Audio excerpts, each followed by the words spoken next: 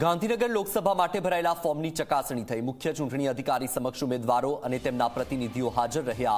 ભાજપ અને કોંગ્રેસના ઉમેદવારોનું ફોર્મ મંજૂર. ભાજપના અમિત શાહનું ફોર્મ મંજૂર થયું તો કોંગ્રેસના સોનલ પટેલનું ફોર્મ પણ મંજૂર થયું. તો આજથી ફોર્મની ચકાસણી શરૂ થઈ ગઈ છે. ગાંધીનગર લોકસભા બેઠક માટે જે ઉમેદવારી ફોર્મ ભરવામાં આવ્યું હતું તેની ચકાસણી થઈ છે.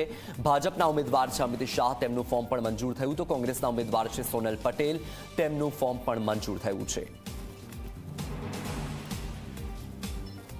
આજે છ ગાંધીનગર લોકસભા મતક્ષેત્રની ચકાસણીની પ્રક્રિયાનો કાર્યક્રમ હતો.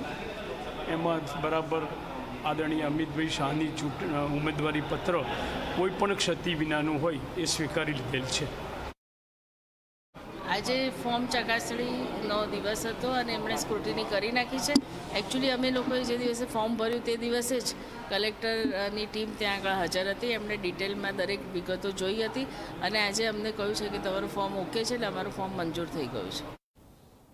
બનાસકાંઠાના